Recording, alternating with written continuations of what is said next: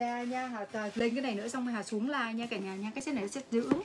Cái này là set dưỡng của Saga nha cả nhà nha. Hà nãy Hà giới thiệu với mọi người á nó là cái set um, Hà nãy Hà giới thiệu với mọi người nó là cái set serum nha cả nhà nha. Còn cái set này nó là set dưỡng nha cả nhà nha.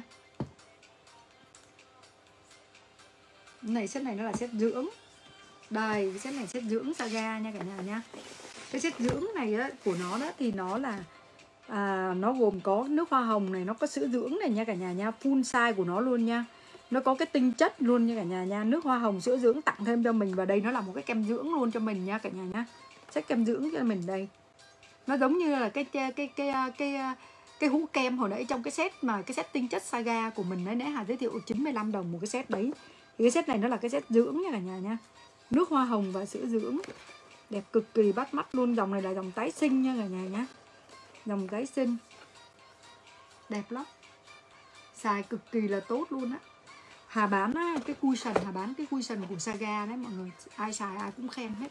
Xài cái đó đánh lên nó thực sự rất là thích luôn á.